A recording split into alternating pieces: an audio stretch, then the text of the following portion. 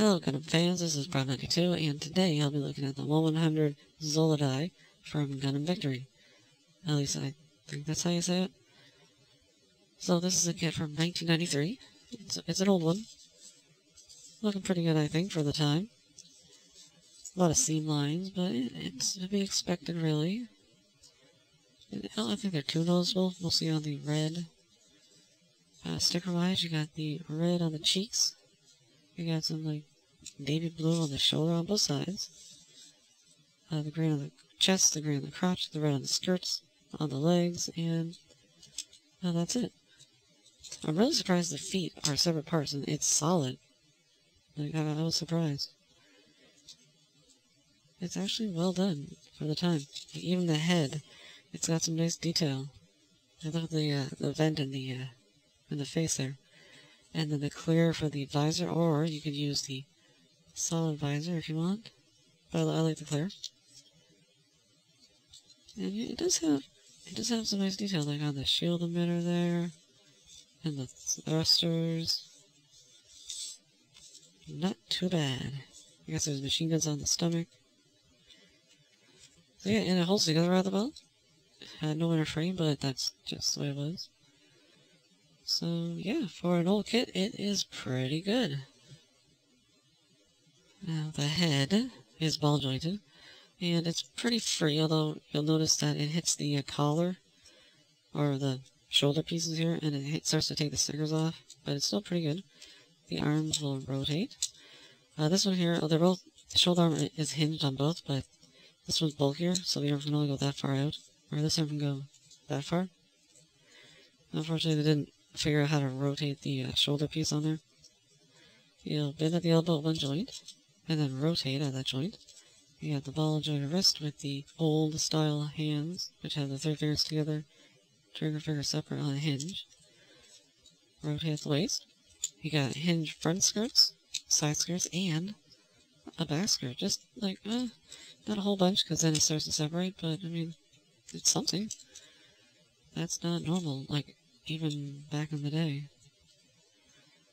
Although, because they don't move too much, the leg can go that far forward, uh, that much back, that much out. You have a, it is a double jointed knee, but still that's all you get. And then the ankle is hinged in there, but it's also ball jointed, so you can get forward and back, and then some rotation, and some side to side. And then the thrusters actually can move. They're uh, separate. So I thought that was pretty cool.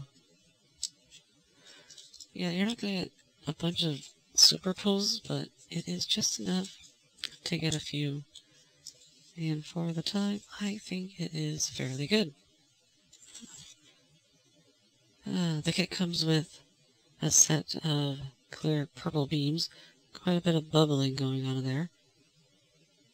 But it, it just happened at the time.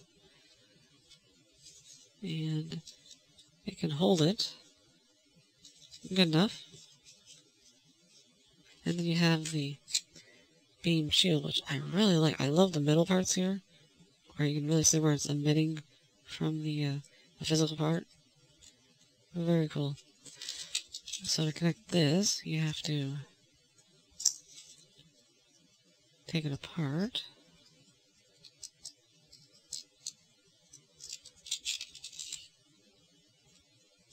Just rest in there. I don't know if there'd be an easier way to do this nowadays. I think this is probably the best way with such a big uh, shield emitter.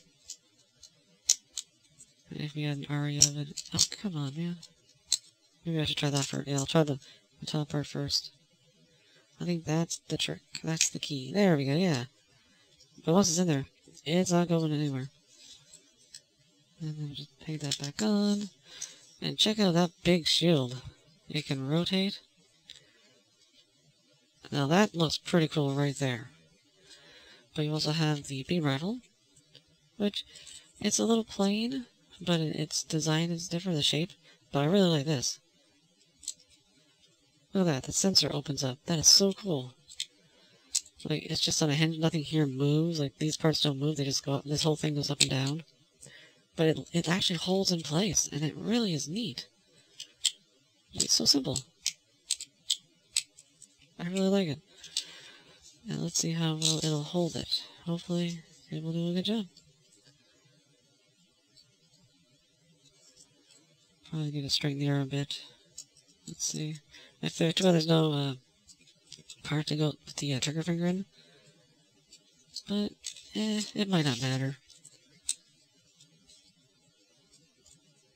Let's see.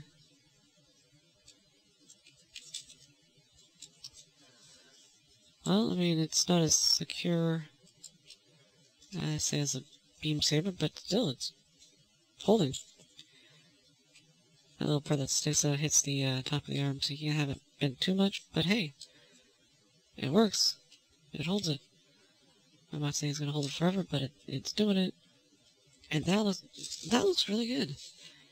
I like these accessories. I love that shield. I love that shield effect. Really cool. So yeah, I'd say the accessories are pretty good. Uh, well, since Victory is when they were getting smaller in terms of suit size, there's the... Wow. Yeah, the Jesta Cannon, that's quite the difference. Huh. It's actually closer to like a 1 44th scale, but I don't have any close to me right now. And then here is the Victory Master Grade. Yeah, that's definitely not right. I don't think... I assume they're supposed to be closer in height. I'm sure if I had the 100, uh, the old 100, from the same time, it'd be uh, probably the same. I don't know. I didn't check the scale and how high, how tall this one is compared to the Victory. Yeah, it is a shorter uh, 100 kit. That is for sure. But I still think it looks cool.